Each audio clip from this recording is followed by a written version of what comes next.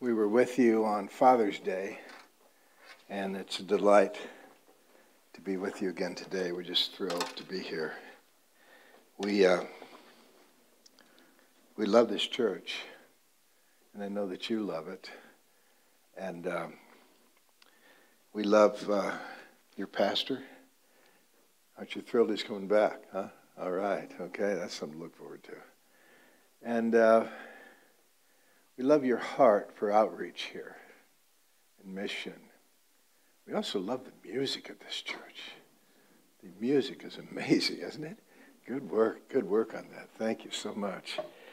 So, um, I'm, I'm going to ask you to uh, find your Bible, if you would. I, I hope it's not far away. And uh, turn with me to uh, 2 uh, Timothy chapter 1. This is Paul's last will and testament, as we like to say, before his own suffering and sacrifice, before his execution. And uh, 2 Timothy 1, and uh, I'd like to just read our text for today, beginning in verse 7, right down through verse 14. 2 Timothy 1 7. For God gave us a spirit not of fear, but of power and love and self control. Therefore, do not be ashamed of the testimony of our Lord, nor of me, his prisoner, but share in suffering for the gospel by the power of God, who saved us and called us uh, to a holy calling not because of our works, but because of his own purpose and grace, which he gave us in Christ Jesus before the ages began. We sang about that this morning. He loved me ere he knew me. We sang that, already sang that this morning, didn't we? Isn't that great? Verse 10, and and which now he which now has been manifested through the appearing of our Savior Christ Jesus, who abolished death and brought life and immortality to light through the gospel, for which I was appointed a preacher and apostle and teacher, which is why I suffer as I do. But I am not ashamed, for I know whom I have believed, and I am convinced that he is able to guard until that day what has been entrusted to me. Follow the pattern of the sound words that you have heard from me in the faith and love that are in Christ Jesus. By the Holy Spirit who dwells within us, guard the good deposit entrusted to you. Oh man, what great words. Let's pray. Heavenly Father, we're thankful for the testimony of Jesus this morning. We're thankful for the clarity of these verses. It tells us the issue is Jesus, and the issue ultimately is the glory of God. Lord, encourage our hearts this morning with your word. Uh, speak as only you can. By the Holy Spirit, we pray. For we ask it in Jesus' name and for his sake. Amen. A few years ago, at the church I served uh, at that time as pastor, we had a, uh, a missions conference. And at this conference, we had a guest speaker from Romania. His name was Joseph Tson. And uh, he told about his life in Romania under intense persecution during the communist days there. And uh, he entitled his talk, What It Takes to Be a Missionary. And he said, uh, You know, there's really two things it takes to be a missionary. He said, First of all, you have to be willing to die. Because as a missionary, you're going to tell people that they're wrong they might not want to hear that they're wrong, and they may kill you in response to that. I'm, I'm thinking, I can't wait to hear what's second here. I mean, this first thing sounds a little tough, you know. First of all, you have to be willing to die. Secondly, he said, you have to have a message worth sharing. And I think both of those things are in Paul's mind as he writes these words to Timothy and now, even this morning, to us. You must be willing to suffer, and you must have a message that's worth sharing. So, I think the t- theme that, that Paul is, is getting a- across to us is this By his great power, God strengthens us to face suffering for the sake of the gospel. This is what it takes to be a missionary. Now, Paul gets right to the issue in verse 8. And I want to read verse 8 again. Therefore, he says, Do not be ashamed of the testimony about our Lord. The word testimony there is, is really the, the, the word from which we get our English word martyr, and it means witness, about the witness for our Lord, nor of me his prisoner, but share in suffering for the gospel by the power of God. Paul is telling us very plainly here. Listen, Timothy, here's what you need to remember. The issue is Jesus. No matter what anyone else says, the issue is always Jesus Christ. People may say, Well, I don't like the way you guys worship. I don't like the color of the carpet in your church. No, no, no. no. That's not why they kill Christians. I, I don't like the fact that you guys collect money. No, that's not why they kill Christians.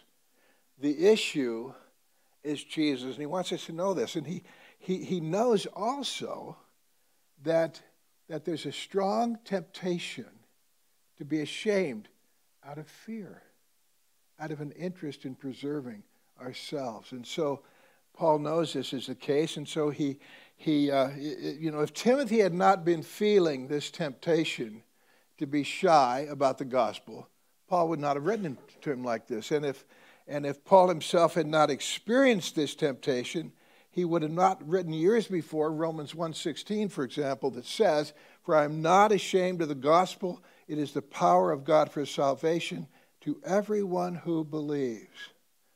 Now, if if this were not a common, just a very common temptation among God's people, Jesus would not have issued the sharp warning. Listen to this warning from Mark 8 and verse 38. Whoever, Jesus is speaking, he says, Whoever is ashamed of me and my words in this adulterous and sinful generation, of him will the Son of Man also be ashamed when he comes in the glory of his Father with the holy angels. You know, I think the truth is, and if we look at, as I look at my own heart, you know, we are, we're all probably more sensitive to public opinion than we like to admit. I know that I am. I, I realized this when I was a very young Christian, just a year or two into the faith, and, and I began to attend Drake University here in town, and there was, there was a situation where I was, I developed, I met a new student, a guy that we kind of connected, and, and I hadn't really said anything. I hadn't meant to hide the fact that I was a Christian, but I hadn't said anything about this to him. And he came to school one, one uh, Monday morning after the week, and he said, hey, he says, I'll tell you something, he said. I, I accepted Jesus Christ as my Savior this weekend. And you know, I was happy for him. In fact, I was thrilled for him. I was also ashamed personally that I'd never said anything to him about this myself. I thought, what a loser I am, you know. And so I made, I made a decision right then that within the first five minutes of meeting someone, I will do something to let them know that I'm a Christian no game playing, no assumptions, no letting a conversation drift into things that I might not be comfortable with or shouldn't be involved in. Five minutes. And you know, that's been a good check for my spirit. It's been a good help to me as I've witnessed. Well, let's, let's review the message here that Paul wants us to know about. And, and it's, a, it's an amazing message. And it, it starts out really in verse 9 with these words and he, God saved us. He saved us. You know, one of the things that I noticed in all of this, all of the songs we sang this morning, in most of those songs, there's a complete expression of the gospel. D- did you catch that? I hope you appreciate that. I hope you take time, talk to members of the band, talk to Steve and Pastor Steve, and say, look, thanks for the good work, guys. Well, we need that every song was about the gospel of Christ. What a wonderful thing. And so Paul is saying right away here God saved us. He saved us. And he wants us to know that, that God has initiative in this. Salvation is his idea, not our idea. It happens by His power, not by our power. But this is great stuff, isn't it? God saved. You know, we could talk for days just about those three words. God saved us. I've been uh, reading a book again that, uh, that we use with our summer camps in Romania. And uh, the, this, the summer camps that we have in Romania are about learning English, and we call them English language evangelism camps. So we will take, and, and, and the Romanian people want to learn to, to read and to speak English like Americans. They don't want to learn British English. They want to learn American English. And so we take American teams over there. And one of the things we do is we share some written materials from American. And one of the books I've, I've got here, and I'll introduce the book in a minute. It's a short book, just 70 pages. But we share this book with our advanced class. And uh, it's, it's about a young Muslim teenager growing up in India. And he attend, he's in school. He's about a sophomore. And during his sophomore year, he, he has a teacher biology. He was interested in biology because he wanted to become a doctor someday. And this teacher would come, show up at school every day with a large red dot. She was Hindu, a large red dot on her forehead. And one day, she showed up, and there was no dot. Well, in that culture, if a, if, if a woman did not wear a red dot on her forehead, it can only mean that she was a widow. So he went up to his teacher and he began to express concern. He said, Oh, I'm so sorry. I'm sorry to hear about, see about your husband. She said, What are you talking about? His name was Syed. She said, Syed, cool down here. Said, My husband's fine. Well, well, you're not wearing a red dot today. Oh, she said, Syed. Syed. She said, I'm no longer a Hindu. I have become a follower of Jesus Christ. I am today a child of God. I'm a lover of Jesus Christ. He has saved me. She, she goes on and she says, He has saved me. He has washed me. She uses these words He's lifted me out of the miry clay. And I know that when this life is over, I'm going to be with Him in heaven forever. He was just, Syed was astounded. He was about a sophomore in high school. He was perplexed and then he got angry. He said, You can't worship. Notice what the issue is. You can't worship Jesus. Jesus is just a prophet. Jesus isn't God. What are you doing? This is, this is, he gets excited. He starts saying, This is blasphemy. This is sacrilege. How can you do this? How can you worship a man? She says, Settle down, Syed. She said, I want to talk to you. She said, I don't expect you to understand what I'm going through. But someday I pray that you will. And, I, and then she goes on and she says, I'm praying for you that God will speak to your heart about Jesus as he has spoken to my heart about Jesus too. Syed says he left that class. He was just devastated. He was so upset. He didn't know what to do. But he didn't forget that. He didn't forget that. And she said, I'm praying for you. That prayer in Syed's life began to be answered two years later. He was now a senior in high school. And uh, his family was going through trouble. His parents weren't getting along. His father was a, a, a harsh, angry man, sometimes beating his mother, often using bad language on her and threatening her, and always lately talking a lot about divorce, divorce, divorce. I'm going to leave you. I'm going to divorce you. So Syed left the house. It was, a, it was winter. It was actually Christmas Eve. And he went to a park and he sat alone. Notice what Paul says here. Let me come back to the scriptures here. Verse 9, he says, Who saved us and called us to a holy calling, not because of our works, but because of his own purpose and grace. Salvation is always of grace which he gave us in Christ Jesus before the ages began. He's in this park and he begins to think about taking his life. He's very discouraged. He loves his father and mother, doesn't want to see them divorced. He doesn't want to have, have his home break up, and he doesn't know what to do, so he begins to think about taking his life. And uh, he hears a voice from behind him. And the voice says to him, Try me. I am Jesus. That became the title of the book that he's written about his life. Try me. I am Jesus. He heard the voice three times.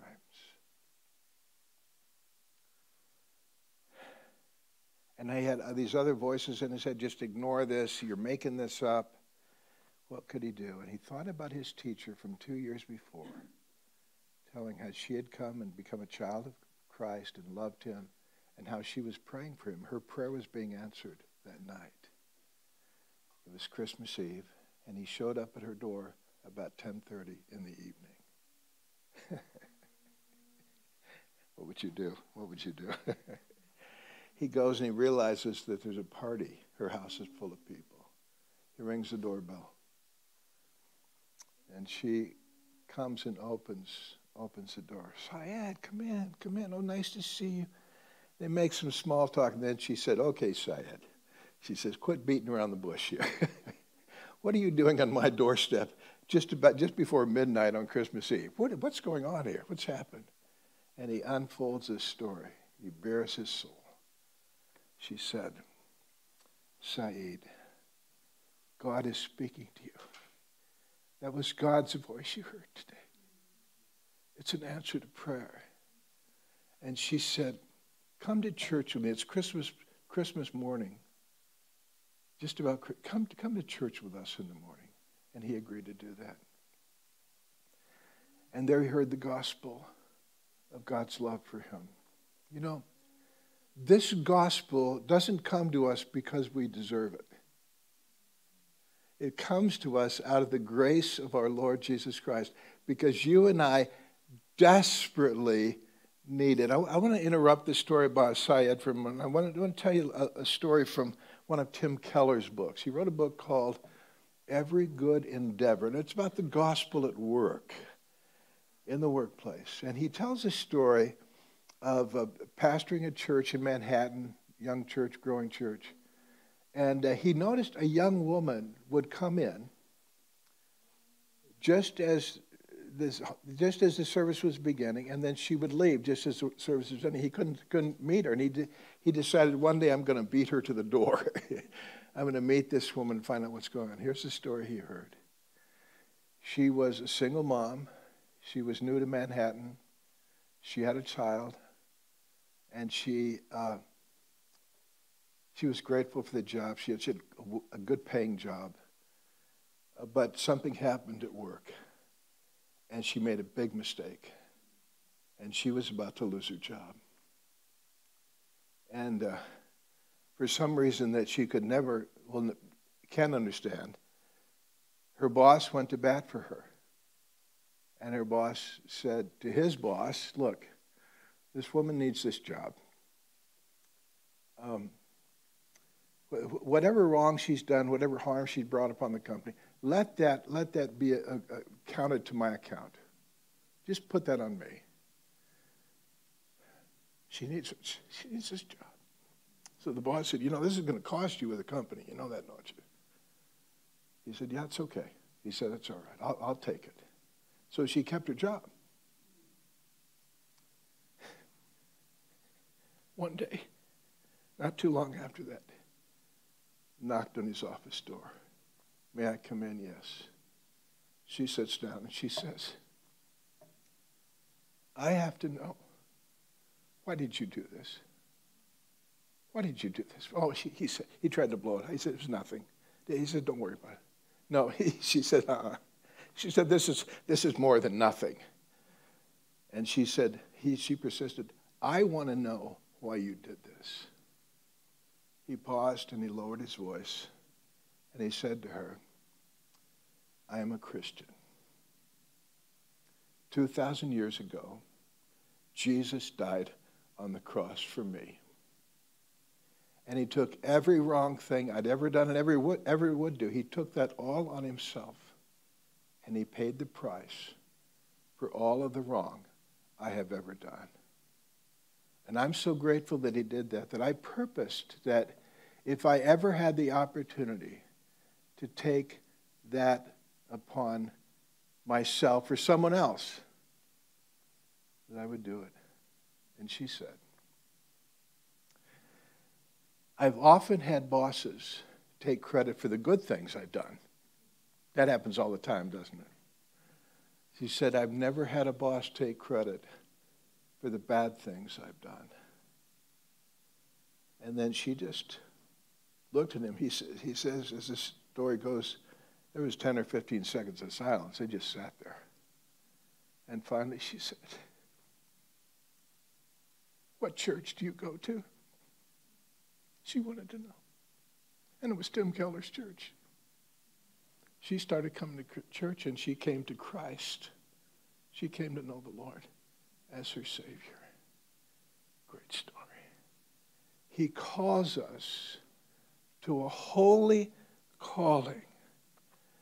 Well, the, the next thing he says about the gospel is in verse 10 here that, that Christ, that God abolished death. And uh, says that uh, we find this in verse 10 and which now has been manifested through the appearing of the Savior Christ Jesus, who abolished death. Now, the word abolish doesn't mean that nobody ever dies again. It means that he rendered death to be inoperative, ineffective. People die, but that death doesn't separate them from God if they trust in Christ. And so Jesus rose from the grave, and so we also will raise, be raised from the grave. The appearing of our Savior, verse 10, Christ Jesus, who abolished death and brought life and immortality to light through the gospel, for which Paul says, I was appointed a preacher, an apostle, and teacher, which is why I suffer as I do but I am not ashamed. So, God abolished death through Christ. That's why Paul could say to the Philippians, For me to live is Christ, and to die is gain. It is far better, he says. Jesus said in John 11, Everyone who lives and believes in me will never die. So, for the one who is trusting in Christ, our last breath on earth becomes our first breath in heaven. God gave us. So not only did God abolish death, but fourthly, God gave us eternal life in his presence. This new life begins today. We are a new creation in Christ. Paul says, if any man is in Christ, he's a new creation. The old has passed away. Behold, the new has come. We are a new creation in Christ. That new life begins today. And now, our job, our job is to share the gospel with people. Paul says, I become a, a, a preacher, an apostle. I share the gospel. I preach the message. And that's why I suffer. I want to come back to the story about Syed for just a moment or two. all through the years, um, uh, Syed would he went he went to school, he went to uh, Bible college and would later pastor a church. But when he was at Bible college, he uh, he he the, the word was out that he was a believer in Christ, but he had never talked about it openly. And then one day at lunch, he had about ten fellow college students and and uh, he thought, this is my opportunity. And so he said, You may have heard some things about me. I want you to know I'm a follower of Jesus. I believe in him. And, and they sat and they listened. And he talked and he talked and he shared the gospel with them. And he thought, he thought, I'm so, he, he was relieved to be able to talk to them face to face about it. He thought, oh, this is going so well, you know. But it wasn't very long before he realized how angry they were becoming. Very angry. And um, a few of them just stood up in disgust and walked out.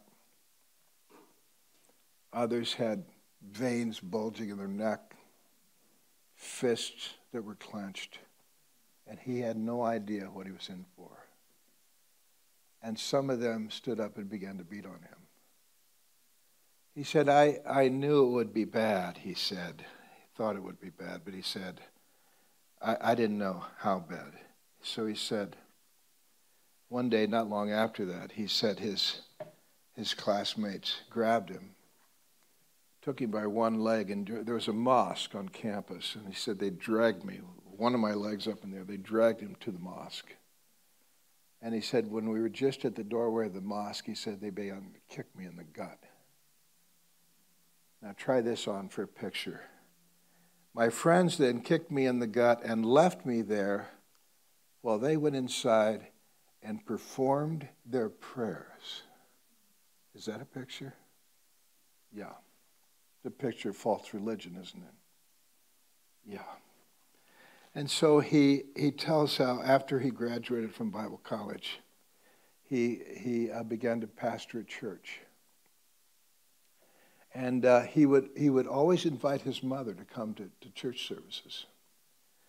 And uh, she would never come. But he kept it up. He thought, you know, someday she's going to say yes. And, and there came a day when his mother did say yes.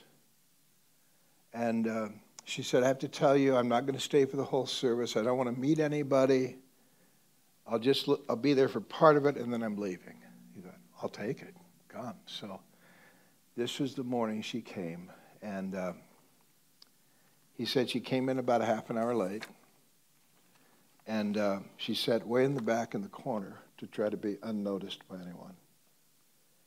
And he had prepared, he just he felt the Lord had given him a very special message that day. And the message was about God's care and provision of the Israelites after they were called out of Egypt. And he talked about how God provided a pillar of fire to guide them and protect them by day, by night, and, uh, and then how God had used fire in the ministry of Elijah, calling down fire from heaven on the, the, the, the, sacrifice and, and uh, to defeat the prophets of Baal, and how God had used fire to protect his people. He, he talked about that. And um, his mother didn't leave, she didn't leave the service. And uh, at the end of this, the message, he said, here was his invitation if anyone here wants this kind of protection in your life, all you need is Jesus. He not only redeemed us from sin, but also from all the powers of the evil one. Then he writes these words As I invited people to come speak with me about following Jesus, the first person to come toward me was my mother. He said I was flabbergasted. I thought, surely she has not understood what I've asked him to do. Um, she knelt down at the front of the church with tears streaming down her cheeks. He said, I could not believe my eyes. I thought perhaps she had misunderstood, misunderstood some part of what I had said, so I bent down and I said, Mom, did you understand my question? I asked only those people who wanted to follow Jesus to come to the front. Can you imagine? She said, Yes, I understood perfectly, and yes, I want to follow Jesus. So I joyfully read her, led her in a prayer to accept the Lord. And so, so he said, after we got back home, I said, Mom, Mom, what was that all about this morning? What happened? What happened to you? And, uh, and uh, she said, she told him the story behind what happened that morning. Here's the story he said, It really began just not long after you made a decision to follow Jesus. And everybody in the family was upset. Your uncles were, were going crazy. And, And there was a lot of people telling me, I've got to talk you out of this. I've got to pull you back from this. He, he can't follow Jesus. He's, he's offending the prophet. He's, a, he's blaspheming against God. So there's a lot of pressure. And so she said, I, I decided to try to do something very extreme. She said, um, I went to a woman who practiced black magic. And then he explains in Islam, black magic is very strong. It's some of the strongest magic on the face of the earth, he said.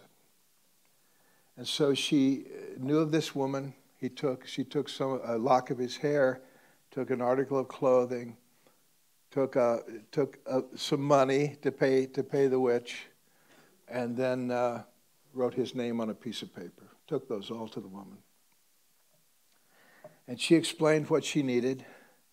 She needed a curse put on her son so that he would abandon following Jesus and he would come back to Islam. Oh, she said that. This won't be hard. It's very, you know, you know, everybody knows just what to do. She said this would not be a difficult thing to do. So she went and she locked herself in a room to perform the black magic. After, here's, what, here's what he writes. After a while, the woman ran out of the room. These are his, his mother's words telling the story returned everything to, to my mother, including the money and the paper on which my name was written. And she said, Please get out of here at once. My mother was stunned, he writes, and could see that the woman was literally shaking from head to foot. My mother asked her, what, What's the matter? What's going on here? And she refused to answer and just repeated her previous command Get out of here, just leave me. And my mother insisted that she know what had happened. Then the woman, the witch, explained this. As I performed the necessary magic, I saw that your son Syed was surrounded by a great wall of fire, more powerful than anything I have ever seen in all my life. And this wall of fire was shielding him. As I sent my powerful spirits toward your son, they burned up I have lost some of my powers today because of your son.